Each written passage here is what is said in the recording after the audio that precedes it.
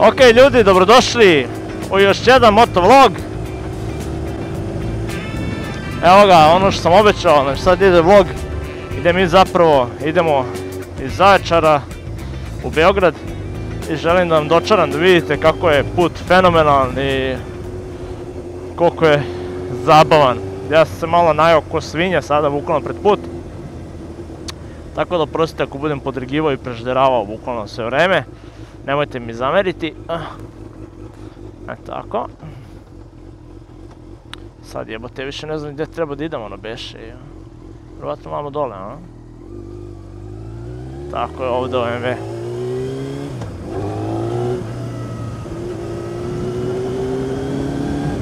Anka više nije sa mnom. Više se ne vozi iza mene, tako da sad mogu da vozim malo opuštenije. Mogu da vozim što bi se rekao kako se zapoveda. E sad da vidim, samo mislim da sad treba da idem... Ne treba da idem? Levo, tako mislim da bi trebalo da idem levo ako se ne varam. Levo je za Beograd.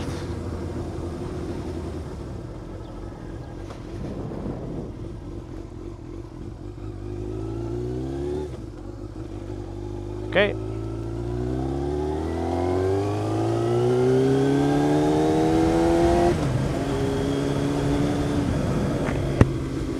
A, ekstra. Čist vizir.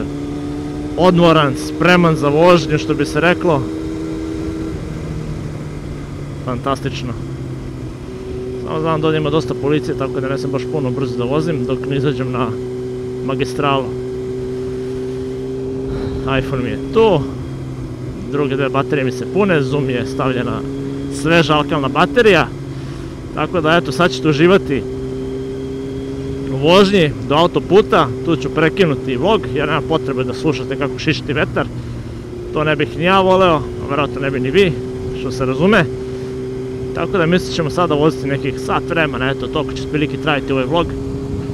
Pošto sam provalio da jednostavno volite da vidite kako izgleda kada vozi motor, da vidite kako izgleda ovaj sirov format motovloga. Znači ono što ljudi da kažemo ne znaju, znači ne želim da vam dam sažvakan motovlog koji traje nekih 10 minuta, to sam već rekao. Ok, za neke situacije kada pričate šta radite, kako radite, ali ako želite da iskusite samu vožnju, ljudi, jedino ovako možete da iskusite samu vožnju. Vožnja po Beogradu nije to to, verite mi. Verite mi da nije to to, znači mora da se ubije ozbiljna kilometraža ako želite da osjetite pravu stvar, ovaj ker mi je problematičan vidim, dobro je miranje, miranje, dobro je. Evo bože, znači ovi kerovi su nenormalni, odlični, samo ću to da vam kažem. Znači možda mi izleti i da mi napravi tako veliki problem, ah, dobro. Nego, šta ćemo da pričamo danas? Dok se vozikamo. Pa yeah, woo, yeah.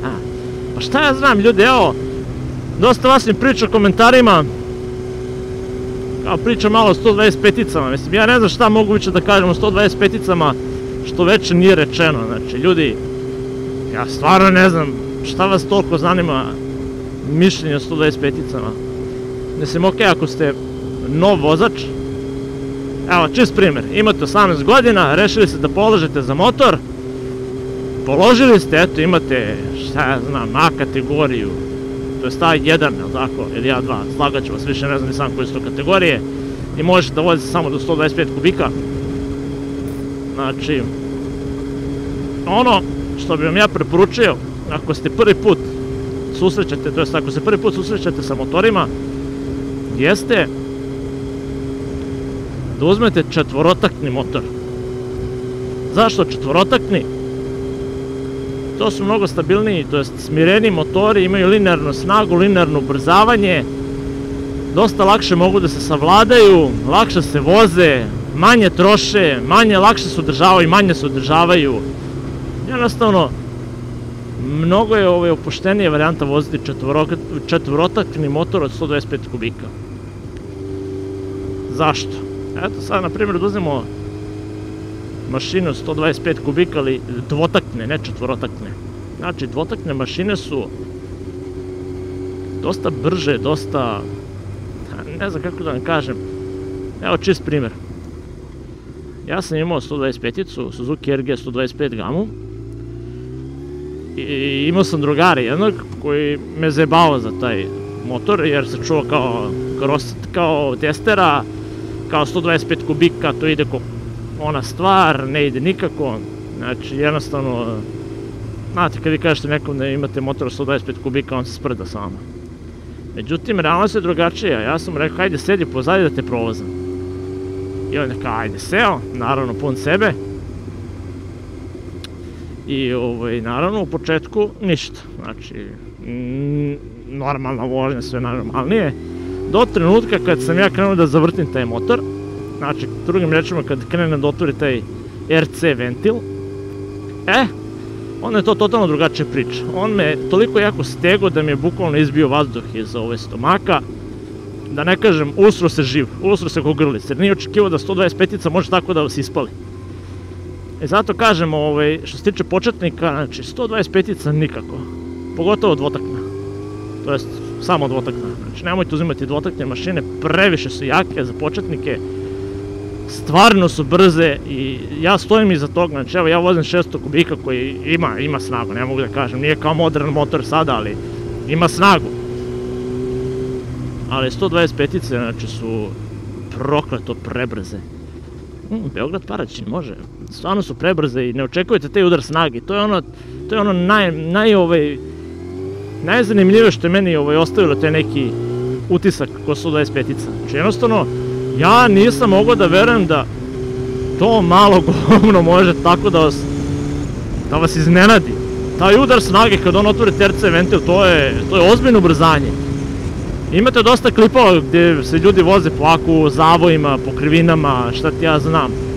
Gde 125-ice u krivinama beže motorima od 600 kubika, naravno motor 600 kubika pokida na ravnici i može da uđe brže ovaj, u krivinu, sve to stoji, ali kad su u pitanju baš ovaj, ovake situacije, vi ne možete nešto puno da koristite 600 kubika, osim ako niste baš neki profesionalac, ali 125-ica se toliko, eh, da kliknem, se toliko ovaj, približi 600-ici da to prosto neverovatno. Ljudi, ljudi nisu svesni što, da 125 kubika ide stvarno, stvarno dobro. Evo čist primjer, ona Aprilia RS 125.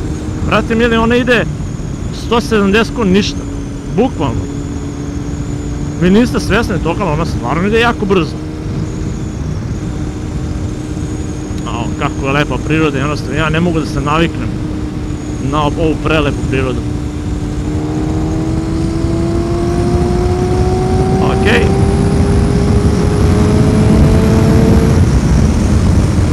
A ne znam da li su mi zagrijane gume kako treba, još uvijek neću da. Ali, brate mili, recite mi da ovo nije fenomenalno. Ovaj put, sve ovo, ovo je, ovo je raj za motoraše. Bukvalno. Ovdje imamo 40 ograničenje, ajde mi neki radovi na put, aj to da ispoštujemo sa 80. Ali da, to da se vratimo na temu, stvarno, ljudi ne očekuju taj udar snage od 125-ica. I to je ono zašto ja ne bih preporučio klincima koji nikad nisu vozili motor da senu na dvotaknu, na cvaje što bi rekli ljudi. Stvarno je previše snage, znači vi imate neke motore fabričke od 150 kubika, znači to je samo 25 kubika više koje idu, brate mili, skoro kao ovaj 600, znači to, to je bolesno brzanje. Dok četvrotakni motori su dosta smireniji, nežniji, više opraštaju i milion drugih stvari, stvarno. Znači dosta su, dosta su ovaj, bolji za vožnje. Mnogo bolje praštaju sve. Tako da mislim da je glupo da me pitate šta mislim o Hondi NSR 125, o Aprilia RS i pičke materine. Sve su to vrhunski motori da se mi razumemo, ali... Jo, brate, kakva krivina, ja nemam reći, brate, ovo je... Ovo te prosto te tera, e! Prosto te tera! Jebem ti čovjeka. Ali, ovaj, bukvalno prosto tera da obolite motor. A ne želim, ne želim to da radim, jer sam obećao da su te stvari samo za stazu, ali ovaj put je tako fenomenalan da ja ne mogu da vam opišem, je. Bukvalno samo mogu da vam pokažem moje oduševljenje kad sam ja pronašao ovo. Po, po, po prvi put za mene. Znači ovo je, vidite, ovo je, ovo je, ovo je bukvalno neverovatno. sve je to lagano vožnje, ja ne volim da vozim nešto pretredno puno brzo, iskreno. Ovo je sve lagan tempo. Ako želite možete da ga pržete, ali po mom mišljenju nema smisla, nema poenta. Put je dovoljno dobar, nema potrebe da rizikujete, da povećavate rizik pada za neki stepen. Jednostavno uživajte, brate mili, u, u asfaltu, u prirodi, u vožnji, u, uživajte u senzaciji, tako je. Ne morate da obarate motor da biste uživali u senzaciji, razumete me? Ponekad je dovoljno samo bukvalno ovako malo da se poigrate. I najzad je Yamaha posle toliko vremena dobila stvarno zaslužen odmor. Znači više ne vozimo neke šnj puteve, ovo su jako lepi putevi napravljeni za Yamahu, da uživamo i ona i ja, što bi se reklo. Jel tako sreća moja? Tako je.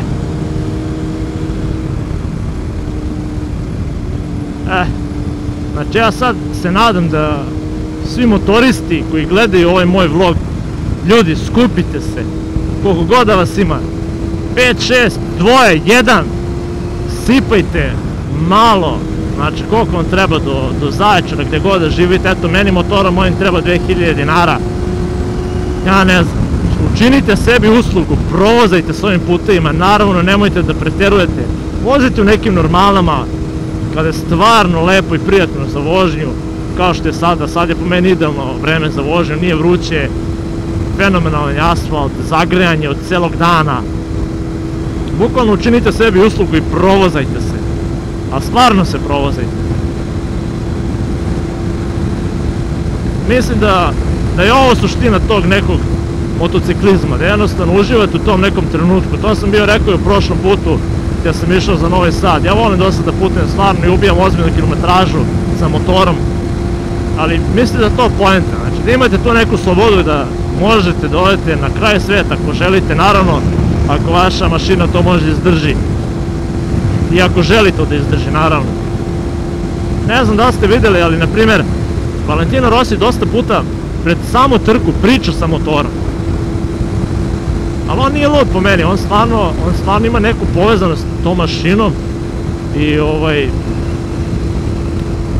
stvarno, ja ne znam šta on priča sa motorom, ali nešto priča, da li da izdrži pobedu, da bude brza, da izdrži tempo, ne znam, može tu biti milion stvari koje mi ne znamo, mi ne možemo to nikada saznamo vjerovatno, ali ako neko može zna šta Valentino Rossi priča sa motorom pre trke, napišite dole komentarima, što da ne. Evo ga, crni timok, ajde malo da se zabavimo. Da slušamo malo kako se čuje Yamaha.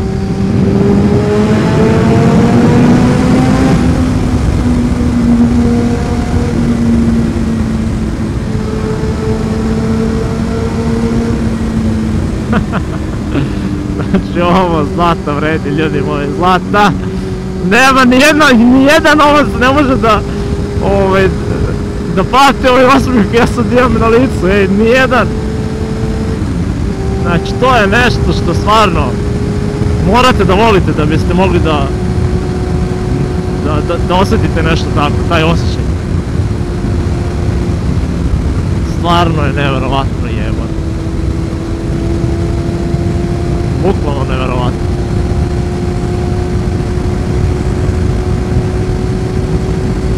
Skuteraš je prošao. Znači, ljudi sa skuterima čak ovdje mogu da uživaju od 125-ica, one bez problema, realno.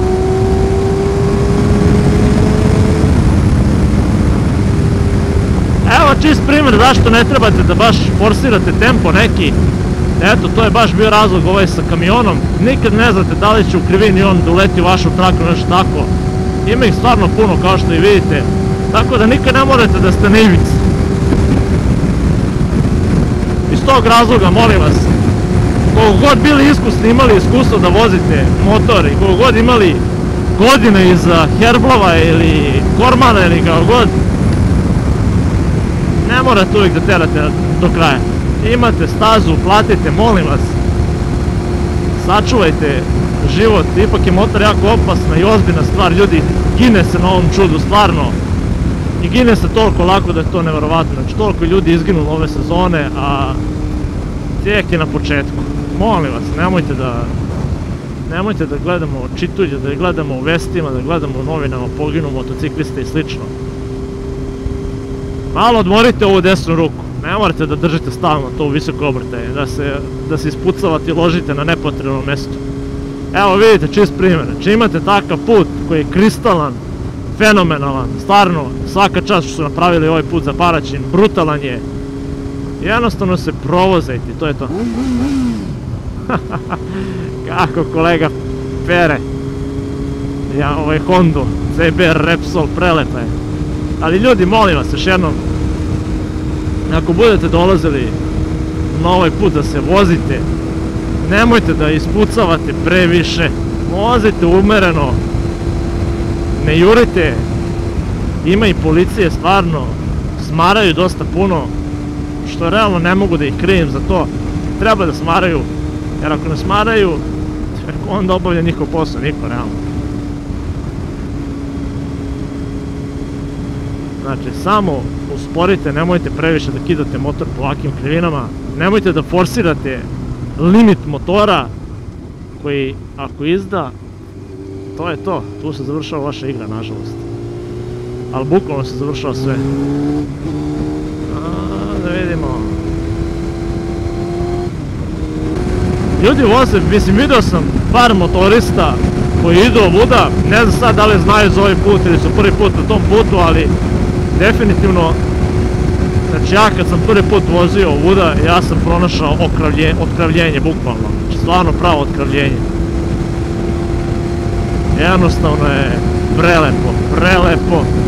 I jednostavno da ne poverujete da u Srbiji možda postoji ovako idealan put za motor, za vožnju. Nebitno motor, može i automobil da se vozi vuda fenomenalno, ali sa motorom je mnogo bolji ovaj osjećaj, moram priznati. Jednostavno kad sa kolima idete 120-130 u krivinu, nekako je ajde da kažem, čak i nesigurno, ali motor ne osjeća ove krivine, stvarno. Ne znam zbog čega, da li je to zbog svih ovih elemenata koje imate, već mi je... Uj, evo te... Pardon. Već mi je ovo cela šoferka, to je šoferka, vizir, vrljav. Znači, baš, baš, baš. Ali jebi ga šta se radi. Čutiš i voziš. Ah. Ali ono što moram da priznam, ovaj, da, pričao sam, pričao sam o 125-icama. Znači, dvotakne mašine za početnika nikako. Uzmete četvorotakni motor, ima ih vratne mili za malo para, naučite da vozite, naučite osnove i rešili ste sebi posao realno. Ako me neko pita da li treba da se počne na 600 kubika na motoru, može, ali nemojte. Ako, ako ste stariji, ako imate nešto u mozgu, znači ako niste klinac koji koga udara i dalje pubertet, uzmi 600 kubika, što da ne. Uzmi, vozi se, savladat ćeš ga, nije problem. Imaš nešto u glavi, znaš da ne smiješ da težaš motor preko svojih limita. I ako se ispečeš, jebi ga, gotov si. Ali klinac, klincu to ne može da objasniš. Znači, ako neko ima 18 godina, on želi da se dokazuje pred devojkama, pred drugarima i tako dalje. Znači, udari ga pena u glavu, što bi se reklo. Sad, ne možeš ti klincu da objasniš da motor od 600 kubika, kad ga zavrtiš preko 7000 da ide jako ozbiljno i da se jako teško zaustavlja. Da je jako teško možda se vlada sa njim, naravno. Te to njima ne možeš da objasniš i ovaj... Nažalost, iz tog razloga dosta ovaj, klinaca izgine. Kupe tako motor, 600 kubika kao prvi motor. Puknu ga dva, tri puta. Osete adrenalin. Onda to dođe u naviku i tu naviku nažalost plate najgorom cenom, a to je smrt. Tako da eto, znači, stavite na papir da li vam je ovaj, vredno da, da rizikujete za 600 kubika. Znači idete nekim normalnim tokom, znači ako se prvi put susrećete sa motorom, idite 125 kubika, četvorotakni, pa onda eto možete 125 kubika, dvotakni, pa onda lupa možete 250, posle 250 kubika, vi već imate neko iskustvo, neki 3 godine, ajde kažemo, vožnje. E, onda već možete da uzmete malo jači motor i da polako se prilagođavate njemu, njegove snazi, njegovim potrebama. I naravno, to se zavisi od džipa. Džipa, hahaha, to se zavisi od džepa. Znači, koliko vam je džep dubog, tako ćete i moći da vozite motor. Ja nemam nešto pretjerano dubog džep, zato vozim motor i motor, iz razloga što jednostavno jeftinije za održavanje, dugotrajniji su, kvalitetniji su. A, troši ulje, ja sipam ulje i to je to, živim s tim, nisam u fazonu, a, sam da ga rastavim, da, da mu radim generalno, maja. Ovo je, brate, motor koji ima 25-6 godina. Ne mogu ja da očekujem njega da radi kao nov motor. I ovo što on radi meni je san snova. Odveze me od tačke A tačke B u najzabavnijem mogućem smislu. Koči, ubrzava. Ma radi sve što meni treba. Bukvalno sve što meni treba ovaj motor radi. Znači ne mogu, ne mogu da mu nađem nijednu zamjerku, udoban je dosta. Znači mogu da se vozim na njemu ceo dan.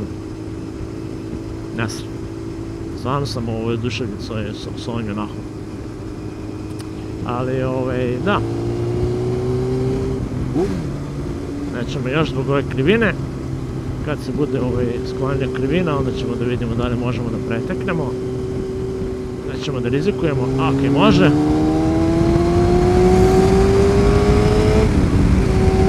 Evo vidite, bukvalno, istog trenutka su naišli, znači... Evo to, da se ja sad zaleteo kod dijabola, ko zna šta je bilo. Znači, uzmite, razmislite 5-6 puta kada možete, kad ne možete, preteknete i preteknite. Znači, lagano. Samo lagano. Ok, da vidimo sada. Opa. E, Podgorac pod Paraćinom, idemo za Paraćin. Paraćin Boljevac, tako je. A onda idemo na autoput. Eh, sad ide isto jako dobar deo ovog puta, ovo uzbrdica. Znači ovo je stvarno fenomenalno. Eno ga i tamo vrtanj, bukvalno biri šidak, što bi se reklo.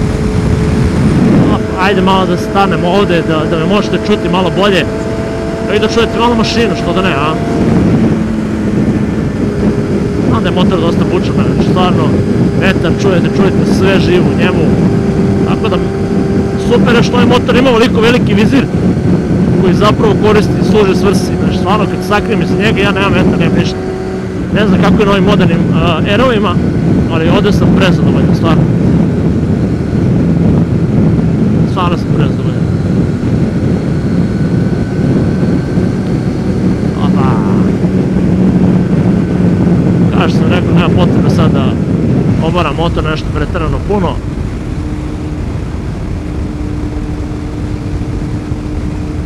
A, kako je lepo jebote, prelepo, stvarno je prelepo, priroda je prelepa i ono što mi je super što vazduh se menja, kako idete vazduh se sve vreme, sve vreme menja. Početku je bio dosta topliji vazduh, sad je već ozbiljno svež vazduh i ostaje se razlika. I drugačije dišete, stvarno. Sad je ovo dosta niža nadmorska visina, spustili smo se. I o, e, znači... I to mi se isto sviđa ovaj, kod ovakvih puteva što vi dok vozite stvarno udišete ovaj vazduh. Niste pod klimom, niste pod, ne znam ja, pod nekim filterima i 300 drugih stvari. Stvarno udešete ovaj vazduh koji vidite, to je to. Jeste da sam malo udešem i ove automobile, ali nisu oni toliko strašni. Aha, evo ga, opet smo ovdje ispod da možete ne čujete. Da se malo manje čuje ovo je buka vetra. Ali opet se čuješ, da se radi.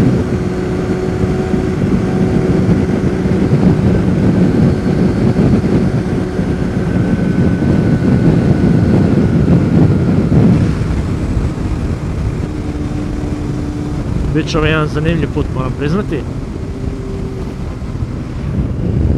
Kamerica snimi dalje, to mi je jako bitno. Još uvijek nije umrela. Svuda pune linije.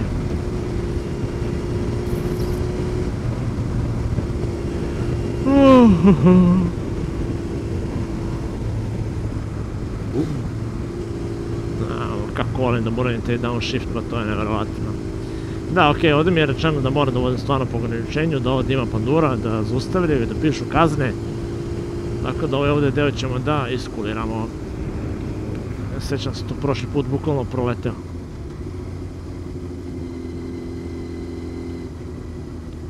Ne znam iz kog razloga baš ovdje ovaj stavljeno da da mora da se uspori, pa možda zbog tog naselja, ali baš ovoliko ovaj označenje i svega da bi se išlo 50 na sat.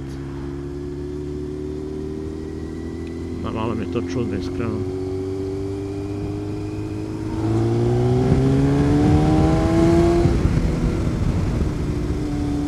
Paraćin 47 km.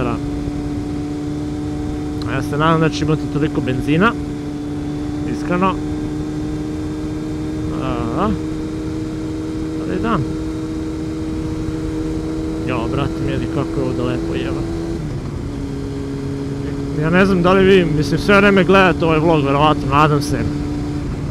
Nadam se da vam nije dosadan, ali ovdje je sve vreme, ljudi moji, idealan put. Asfalt je idealan, nema greške.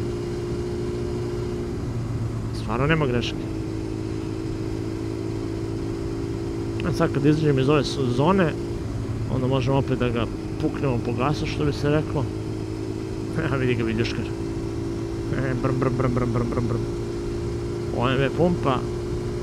Ćao, brate, kako... Znači, OMV ima tako loše označeno one, one benzini gore, jer oba valjda 95 oktana i ja se si pojeđeš skuplji, naravno da nema nikakve razlike, ali brate mi tih 6 dinara krovih nisam trebao da dam, brate. Definitivno nisam. Mmm, mirišu drva. Ah, kako božan taj miris. Neko izla motornom pilom pila od drva, e onda, brate, miriše za sve pare. Ah, obožavam. A sad miriše nešto na dim. Ah, da, baš miriše.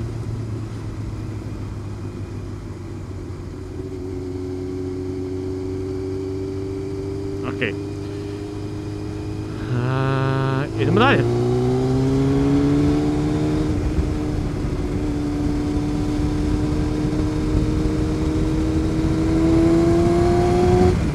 Malo prebisala tabla?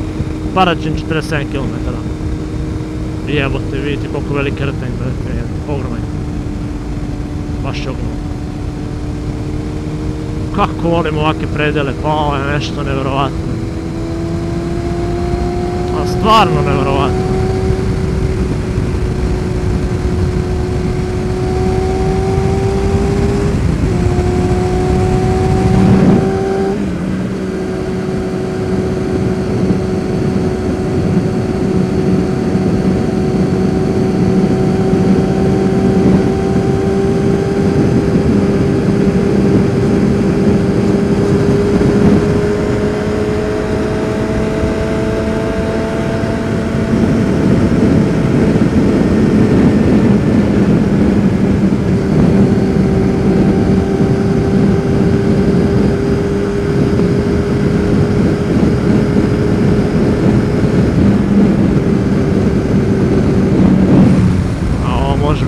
Problematično, znači u krivini, kako može traktor da nam izleti, da vas kenja za sve što bi se reklo.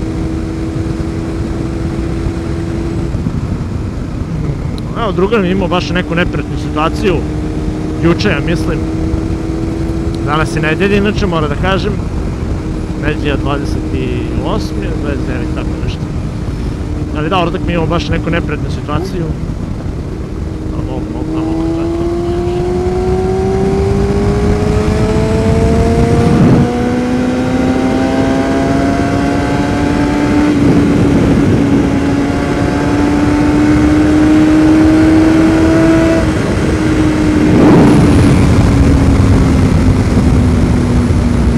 Naime, e, vozio je bataljom i valjda tamo gdje je imao ono skretnje za neku perionicu vamo tamo, on je išao, bila je kolona automobila s druge strane njega.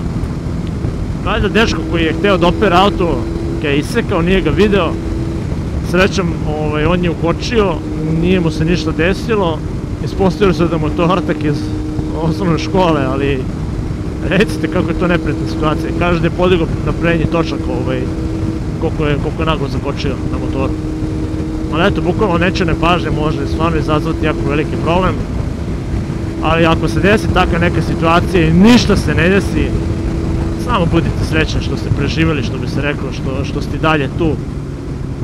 Stvarno, znači, samo budite srećni.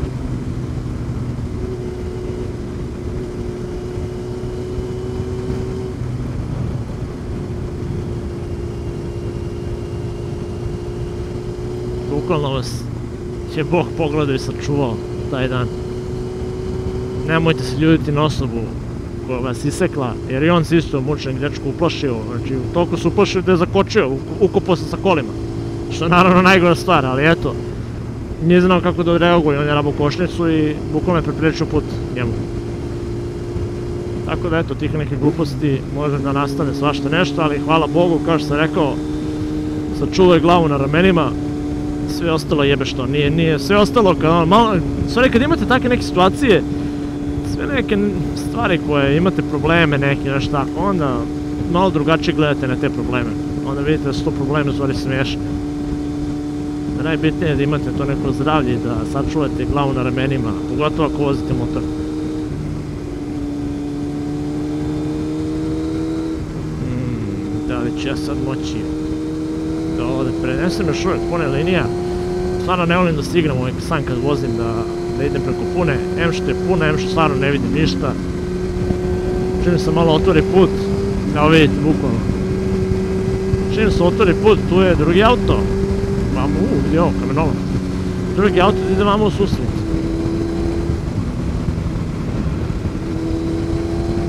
Ili kamion.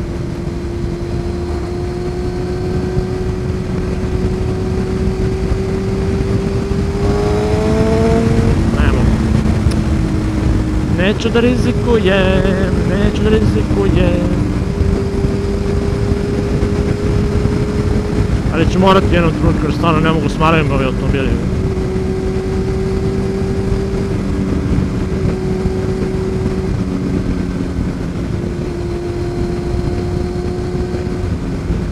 Hajde, vozite!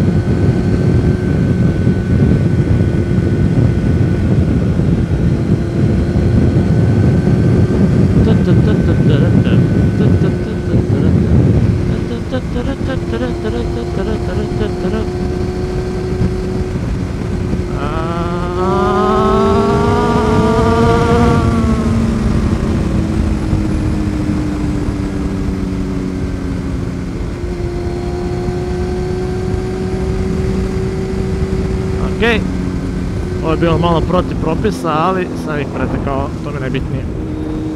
Da me ne smaraju više za mene da budu. Otko znam da će di zakoče ili šta da uradi. evo. Mislim da sam vidio Javu MZ. Te Javu MZ, bože oprosti, Javu TS Twin.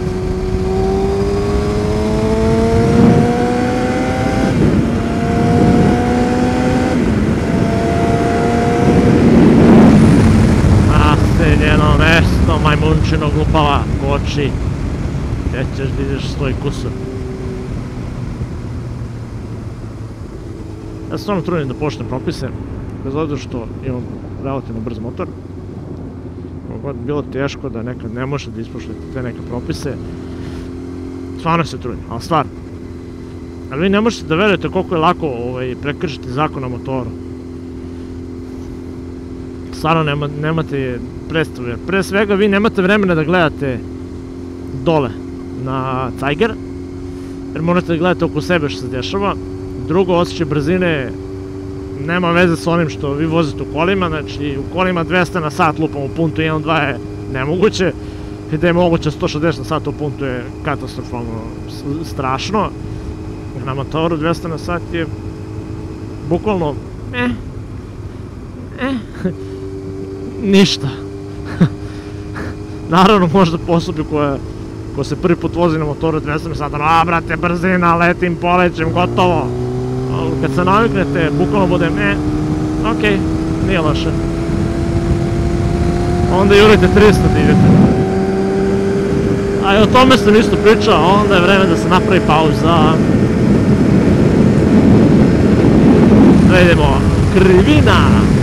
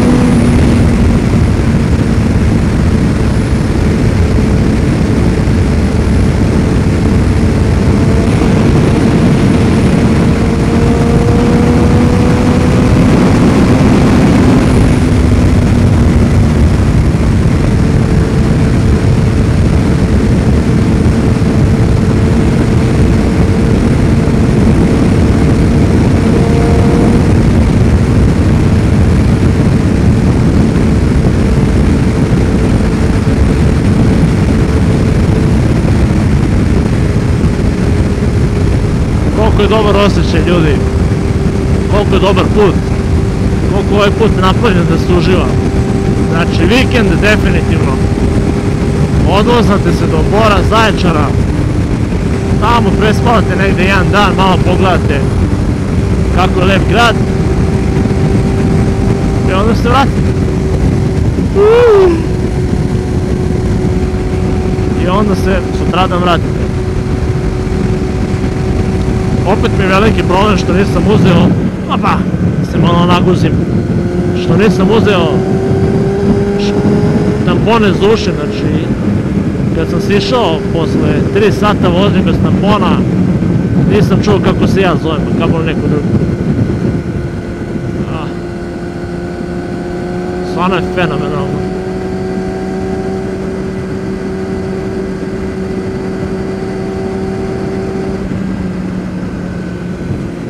Sad ja ne znam kako vi vidite ovo, mislim da vidite samo ovaj deo gdje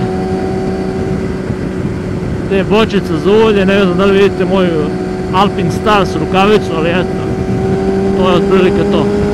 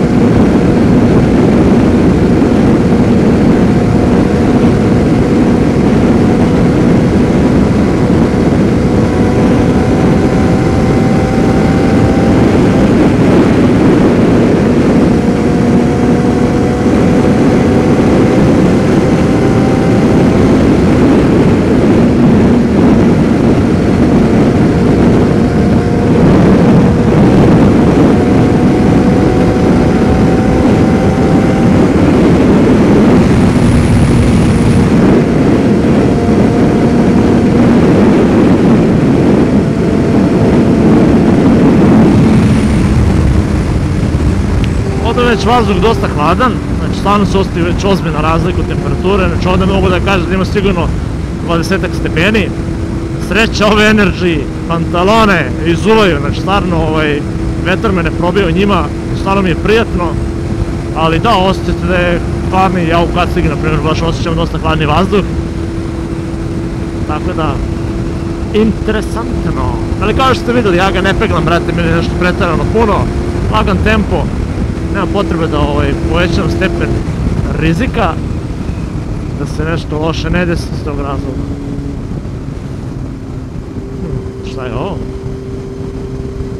A ovo crko auto izda. Sranje. Da, da, da, ovo proklo. Ćao, zdravo. Aj, jebi ga. Zato budete sigurni da vaša ljubav može da izdrži tempo koji ćete vi njoj da zadate.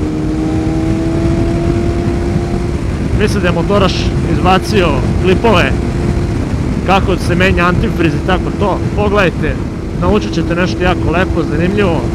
Moći ćete danas upravo i vaš motor da ovaj, popravite. Na mom motoru sam dosta stvari ja sam uradio. Tako da, motor i dalje funkcioniše, radi. a platio sam samo bukvalno deo, antifriz ili šta god je već trebalo.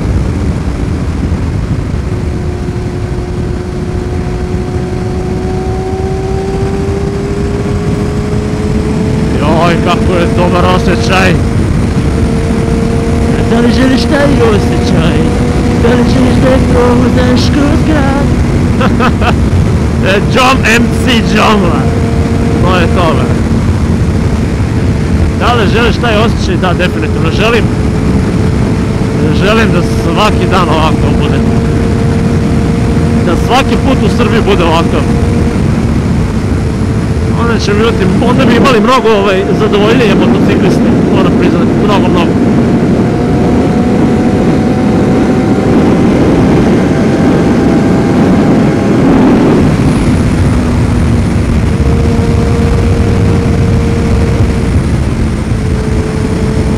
I sviđa mi se, joj, kako nebo ljudi, ovo je nevjerovatno, jebote, ovo je... Auuu, naježio sam se. Ok, moram da usporim malo, pogledajte samo ovo nebo. Znači, ovo je... Ostao sam, ostao sam zatečen. I to bukvalno sam ostao zatečen. Ne mogu da verujem da postoji nešto ovako. Samo da mi ne bude to neo posljednje što sam vidio, a dobro je, neće valjda biti. Ali brate mili, znači ovo je, ovo je san ljudi, san snova. Jebote, otkravljenje sam dobio, majke.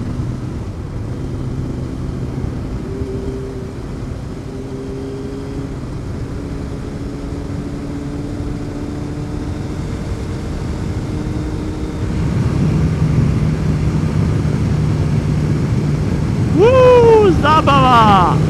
Brava zabava!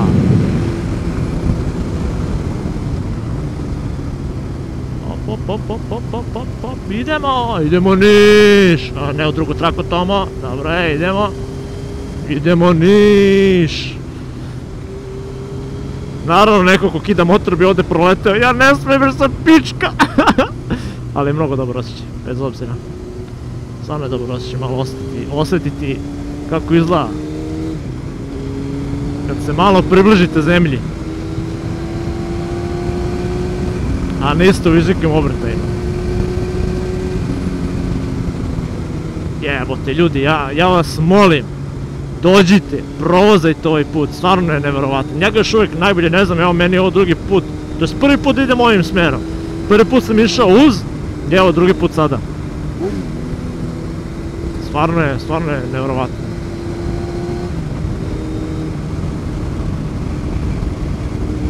Jebote, koji doživljaj, ja ne mogu da verujem. Ja stvarno ne mogu da verujem, evo ga kolega. Ima, ima motorista, stvarno ima motorista koji peglaju ovuda. Ljudi znaju šta je dobar put i mogu da voze. Nevjerovatno.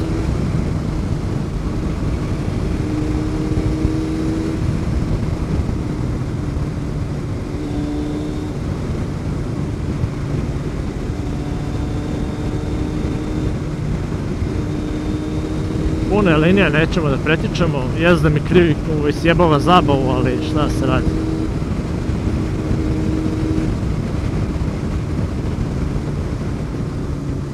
A, mislim se ovdje već... A, ovdje već mogu da preteknem.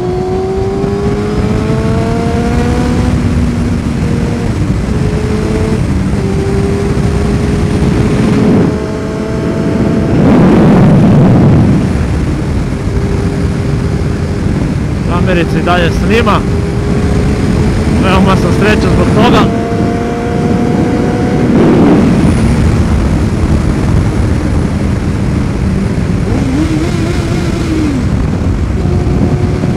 Braća bajkeri. Svaka im čast ljudi znaju gdje su koji je pravi put i gdje treba da se vozi. Ipak nas ima dosta ovdje na ovom putu. Znaju ljudi gdje su krivine.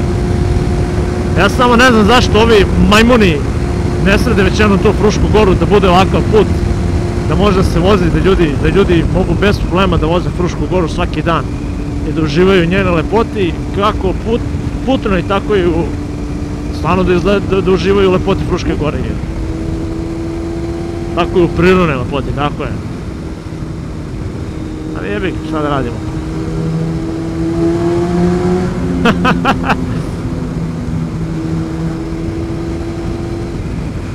I ima to tunele gdje, gdje bukvalno živite za trenutak da malo date gas. Da ga prebacite u niže i...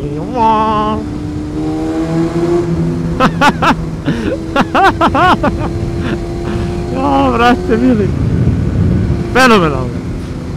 Možda sam trebalo da zakućim kod onih momaka, da se upoznam sa njima.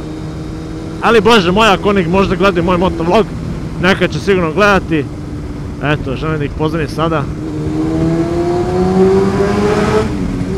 Oh, kakav zvuk, brate, mili, jebe.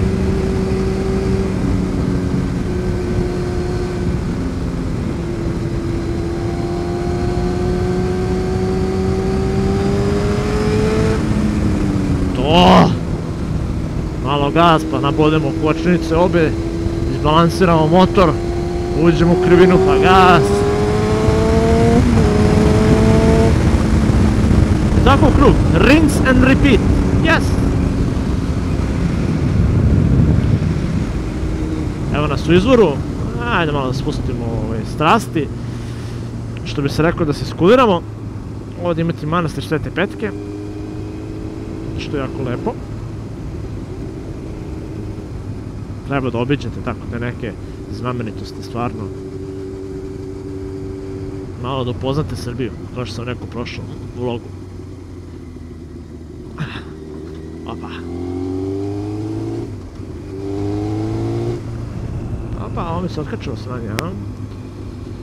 Ništa, morat ćemo da ga zakačimo ponovo.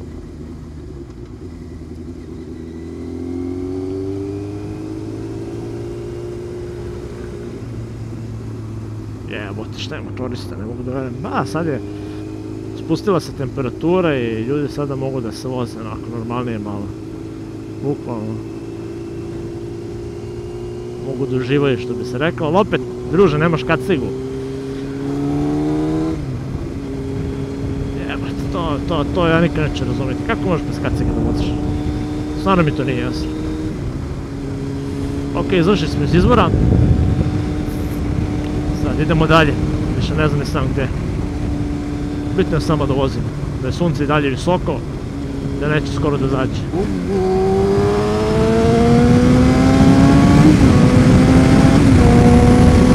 Ja, je. Znači, zašto ne postoji posao koji plaća da radim ovo što ja sad radim? U nižu, pa bam bam, u višu, ja, je. Taj ko ima takav posao, da, ta najsrećniji čovjek na svijetu, majke.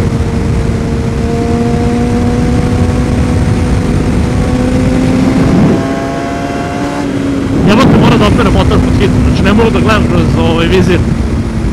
Znači vidite ono što liči, ovo je stvarno katastrofa. Koliko sam uvo ubio, hvala Bogu bio sam debil, nisam oprao motor na, na žetone kad sam imao priliku. Makar viziri da, da opere, da liče na nešto. Jebi ga Tomo sad puši kurac ko te jebe. Imao si priliku iskocku, prokocko si brate, prokocko. Bum, bum. Aj, ja, jebote. Ah. Da. Op, op, op, op, op, op!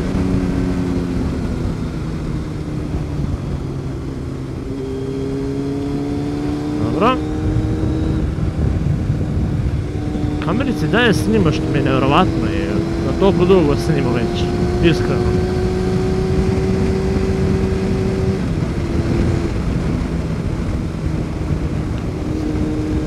Eh, koliko je sranje, na primjer, što u početku imate ovako fenomenalan put koji je stvarno nevjerovatan i lep i ima krivine i ima svega što treba jednom motoristi i onda vrat idemo na toni autoputa koji mere brzinu, jebem ih u merenje da ih jebem baš posred merenja. Jebote, šta ima koji kurac da im mere ako ću da vozim 200, vozit ću 200 jebote. To majke mi nije jasno, znači. Ok, ajde, razumijem da ove s automobilima prave probleme, šta ti ja znam, ali brate, pustite nas motoristi makar da se življavamo. Ukinuli su nam, brate, jedino mjesto gdje možemo zapravo brzo da vozimo. Stvarno. To je jedino mjesto da su mi mogli da kažeš malo da, da mu ga dam. Stvarno nema smisla. Pravda mu za motocikliste.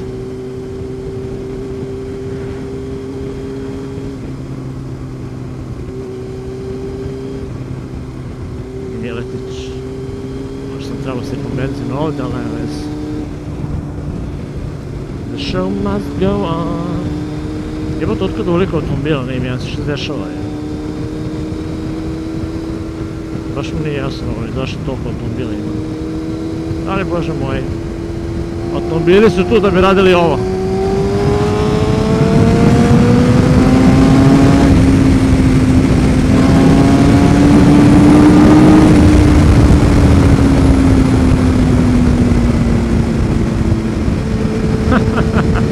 O da, definitivno su za to tu automobili. da koliko toliko možete da se zabavite kad su oni tu.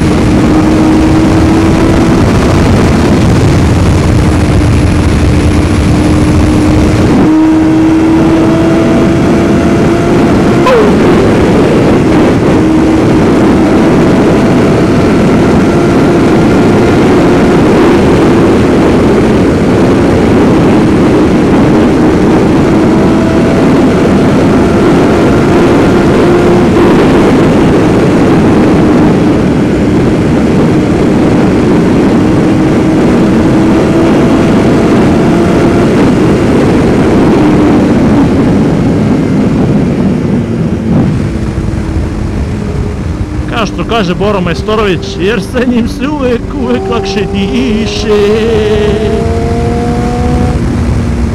Kawasaki, Kawasaki, kad juri po putu, svaka cura želi da ga voza bar minutu. Kawasaki, Kawasaki, samo što vozim mahu. Kad juri po putu, svaka cura želi da ga voza bar minutu. Bow, bow, bow, bow, bow, bow, bow, bow, bow, bow, bow, bow, bow,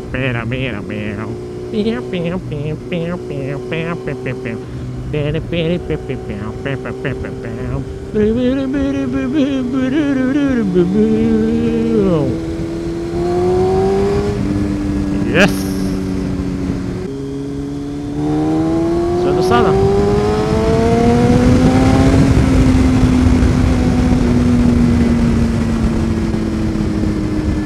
Standard Management. Ja byłem kampanarzem.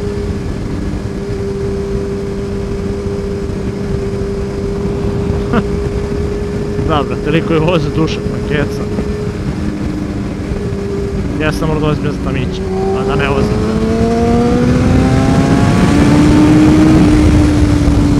Ah, mnogo bolje.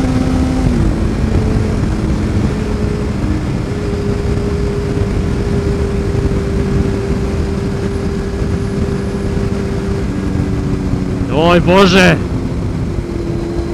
Ovoga moram što pre da preteknem. Vozači Peugeota su najgori vozači na svijetu, to je naučno dokazano. A, evo ga autoput! Jebi ga ljudi, mislim da se tu naša druženje izgleda i završava. Kamerici dalje snima što mi je ne, prosto nevjerovatno. Sad je bio autoput. O da, je brati, nije da se sjebao. Ali dobro, aha. Što mrzim to, brate. Okej. Evo nas na autoputu. Hoću sad da prestane da snimam šta da snimam, brate, kako idem. 120 na sat jebote na motoru, beže u kurac. To je baš zabavno, brate, u pičku materinu. Ali da, ovaj, sad ću da pauziram snimanje, pa se onda vidimo u Tošinom bunaru. A to će biti bukvalno sekunda za vas, realno.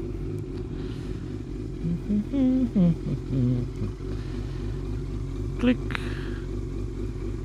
Ajde. Evo. Ok, znači stavimo tu. Zatvorimo. Idemo.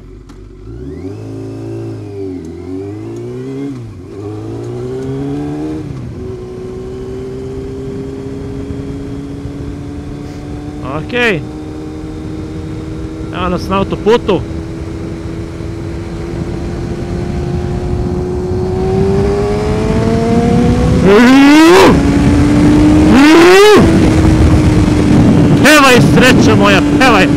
Ajde, the za mene. Uh, jebem ti sunce.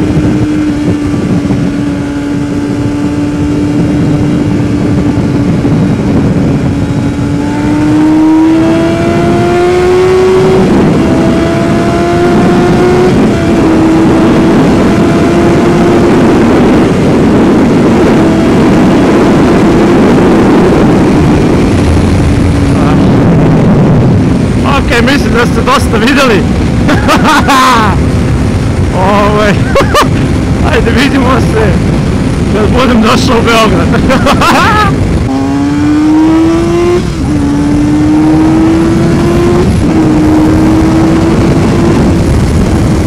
ok, evo nas nazad, ušli smo u Beograd. Ovo je timer. Ok, ušli smo u Beograd. Uh, mislim, ušli smo. Prošli smo naplatnu rampu, sad ide onaj, hoćete da kažete, dosadni fini deo, sve jedno. Ali evo, zalazak sunca najzad. Znači 7.38 je, ako se ne varam. Znači super sam ovaj, stigao, lepo sam vozio, znači nisam imao nikakvih problema, put je bio fenomenalan. Nisam imao ni jednu neprijatnu ovaj, situaciju do sada, što sam išao na ovaj put. Znači stvarno ovaj, topla preporuka svakome. Bio sam naleteo na BMW sektaša što voze GS-a. A naleteo sam na još neke motoriste i tako, bilo je, bilo je ovaj, zanimljivo na autoputu, nisam vozio nešto puno brzo. Vozio sam neko, negde prosečno 130-140 i nisam želao previše da vozim brzo zbog onih kazni da mi ne napišu nešto, onda bi se smorio baš samo tako. Ali da, jebote, evo, 8 sati, to je pola 8, vidite koliko je gužva, znači gužva se prostire do IHH. Eno Gavranski toranj, nadam se da ga vidite, jako lep. A ovo je nešto polica. Aj tako, ja je vrati bili. Tako, to. Ja se nadam druže, eh, da, bravo ti ga, svaka čast. Ovaj, da, veoma je ovaj, ja nisam ni vezao kad si go jebem ti, Toma nisi normalno. Mora ga zaletiš, da ga pustiš i onda brzo da ga, kurac nema šanse. Ajmo šeno, znači zaletiš ga. 140. Joj, jebem ti sunce, gdje si?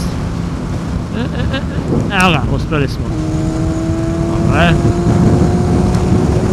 Dobre, dobre, tu je. Ne znam na kad si ga. Uh, moram da priznam da je put bio fenomenalan, kao što sam još jednom rekao. Nadam se da se vama svidio ovaj vlog. Ako vam se svidio, lupite subscribe, like.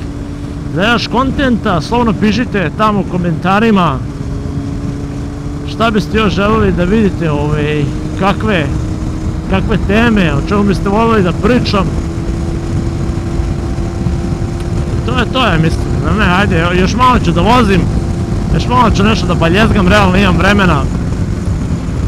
Da ukopim sve ovo u nekih sat, sat i po vremena. Da možete da uživati u pravom vlogu, sirovom vlogu što bi se reklo. Da vidite kako izgleda primjer put kad odete sami negde. Da istražujete malo što bi se reklo nove predele. A da novčano nije, ne daj Bože. Znači ja sam sve ovaj put platio 3500 dinara. Znači ja sam jako, jako zadovoljan. Dva rezervoara sam sašio. Neću da lažem, vozio sam ozbiljno. Terao sam ga u nekim dionicama veoma, što ste vidjeli. Znači nije bilo neki, i bilo je lagane vožnje, bilo je malo ove, kidenja, tako da eto. Sami sračunajte, ali eto, 3500 dinara, mislim da to može svako da odvoji za jedan vikend, da se provozate, da uživate, da vidite malo ujebote, da vidite malo kako je ovaj, kako je kada vozite i istražujete neke nove puteve, a FZR-ka jebote, mislim je ono bila, ali 400, lepo.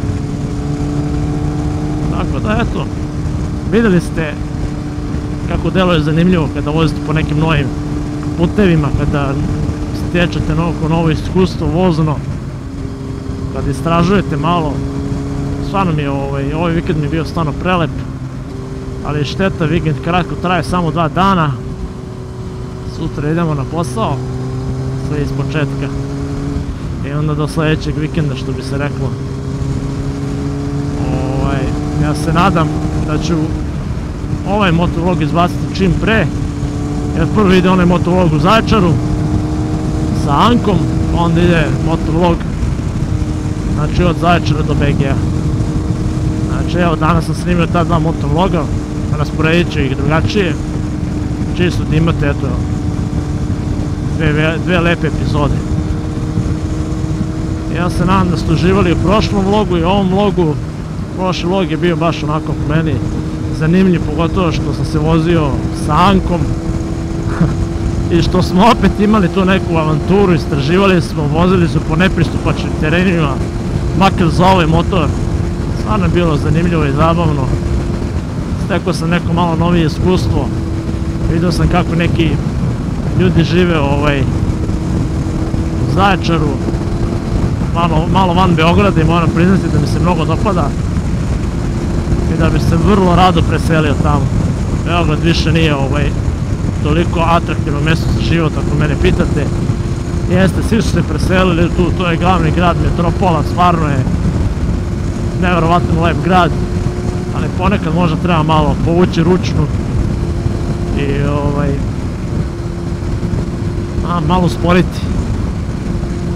A u BG je život mnogo brz, mnogo agresivan. To mi se ne dopada ni malo. U Novom Sadu je usporen život, ali u Zaječaru je život tako lagan, tako opušten. Kao da nemate nijednu brigu na svijetu, bukvalno. To mi se jako dopada, a najveći problem u Zaječaru, eto ako bi se možda preselio tamo, kako naći posao.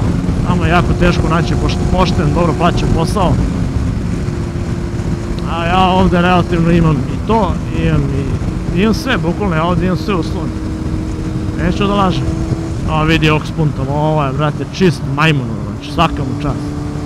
Dobio je medalju za debila godine, jebem ga usta, brate. Kako je mogu tako ti zleti? Svašta. Ali da, ovdje, ovdje, bukvalno imam sve, imam i posao, imam porodicu, imam sve što bi se reklo. Zaječar je tako daleko, tako blizu zapravo, stvarno je blizu. Eto, ja sam imao to iskustvo da sam živeo van Srbije godinu dana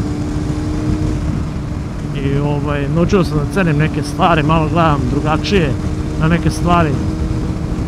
Drugačije kad živite sami, znate. Postane, drugačije gledate sve, bukvalno sve.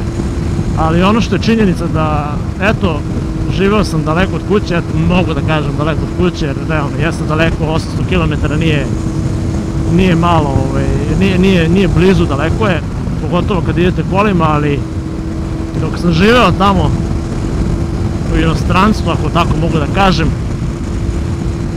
primetio sam koliko je u stvari svet mali. Jako, jako mali, da želim da putujem. Da putujem što je više moguće, pogotovo ovakvi putevi. Znači ovakve putovanja, to, je, mene to zanima, stvarno. Želim da proputujem motorom jako puno, jer sve je blizu. Ljudi misle, a moram da idem, to je sad, jer nemam pojma da niša, to je daleko. Ljudi, nije daleko. Sve je blizu.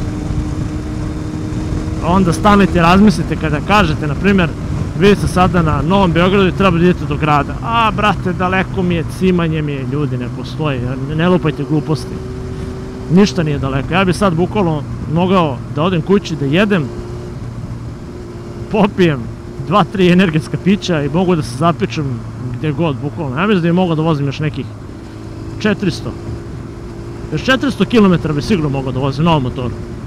Posle 400 km mogao bi samo da da siđem sa njega, da legnem i da zaspim, ali bez zajebanci. Znači evo, stvarno ovaj, trudim se da što više prelazim s ovim motorom.